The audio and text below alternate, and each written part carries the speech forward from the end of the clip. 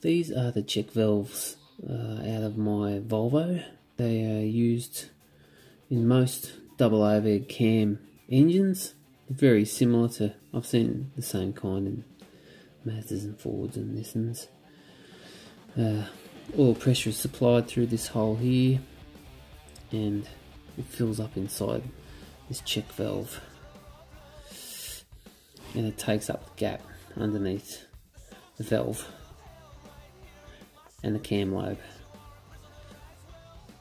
And when you start getting the tick tick noise, it means inside here, inside the check valves, they carbon up and they don't spring back like this one. And squeeze it right in like so. So to take them apart, it can be a little bit difficult, but I use needle nose pliers and these ones are just a vice grip kind.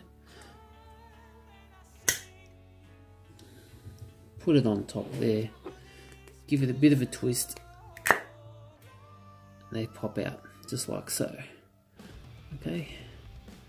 Now they can be hard when it's carboned up. So you may slip off a couple of times but persist and you'll be fine. Now to take these apart they'll slide out. They can be a bit difficult. You'll have a spring.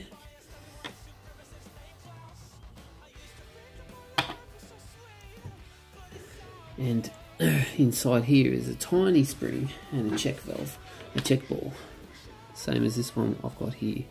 Sorry about the focus. So to get them out, you run your a pick like I've, I've got in here. And I'll pop it up like so and you will release your check valve and your spring. Be careful doing it because your spring may want to fly away. So that's it there. There's your spring. Sorry about the focus. And there's your ball. And assemble them, it's as simple as popping the ball back on. This is once you've cleaned them all.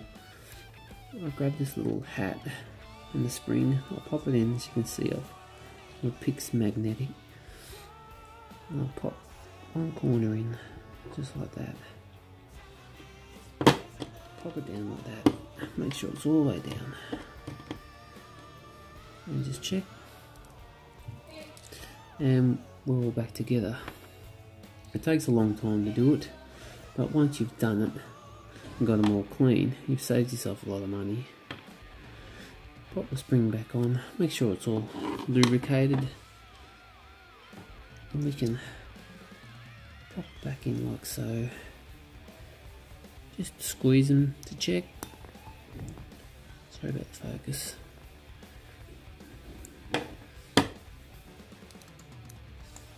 That's ready to go back in. So you can grab it.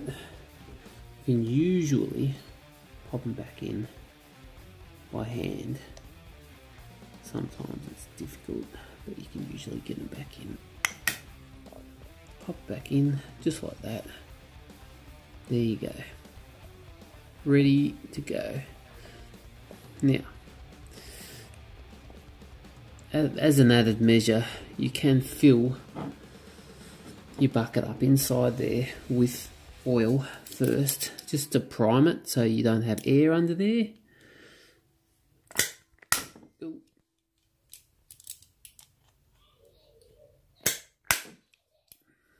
Sorry about that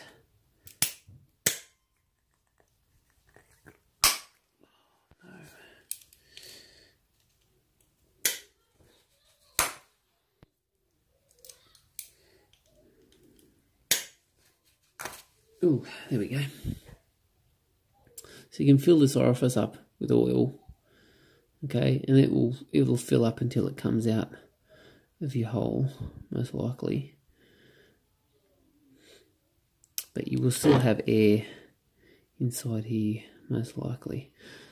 But that's okay. You're not going to be able to get rid of all of the air, but your pressure and the air will seep out the sides once you've started your engine and it's running.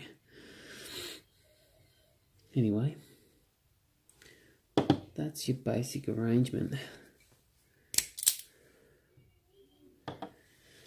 And just to show you again, the final one, grab your spring, pop it in the little hat, put one corner in, tip it over just like that, and then pop it down. Check all corners, make sure it's all down. Beautiful.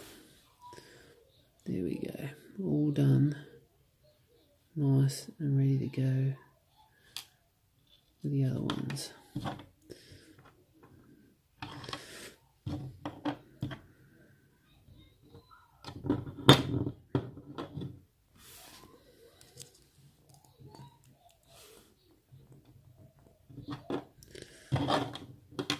That's it, just a quick one to let you know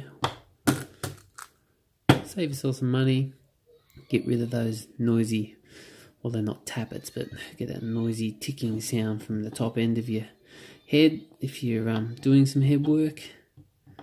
And uh, these babies will be good for another 150, 200,000 maybe. You know. Anyway, catch you next time.